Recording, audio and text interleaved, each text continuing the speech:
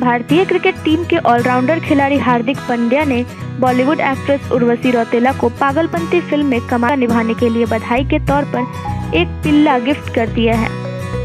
उर्वशी ने उन अपने परिवार में शामिल हुए इस नन्हे मेहमान की एक सुंदर तस्वीर इंस्टाग्राम पर साझा की है, जो उन्हें पागलपंती के लिए बधाई के तौर पर उपहार में दिया गया है। हालाँकि उर्वशी ने इस बात की पुष्टि नहीं की है कि इस पिल्ले को किसने उपहार दिया है। एक रिपोर्ट में ऐसा कहा गया है कि पांड्या ने ये पिल्ला उर्वशी को गिफ्ट किया है। सूत्रों के अनुसार यह जानते हुए कि उर्वशी पालतू जानवरों की शौकीन है। पांड्या ने सुनिश्चित किया कि उसके पास सबसे प्यारी नस्ल में से एक पिल्ला हो। यदि आप हार्दिक पांड्या और उर्वशी रौतेला का इंस्टाग्राम अकाउंट देखेंगे तो आपको दोनों के ही अकाउंट पर शेयर की गई तस्वीरों में एक ही पिल्ला नज़र आएगा। इससे इस बात की संभावना और प्रबल नज़र आती है कि उर्वशी को यह पिल्ला हार्दिक ने ही गिफ्ट किया है।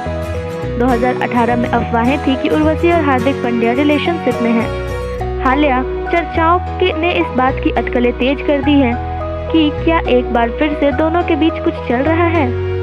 बात करें फ़िल्म पागलपंती की तो अनिस पसनी द्वारा निर्देशित ये एक कॉमेडी फ़िल्म है, जो कि शुक्रवार को रिलीज़ हुई है।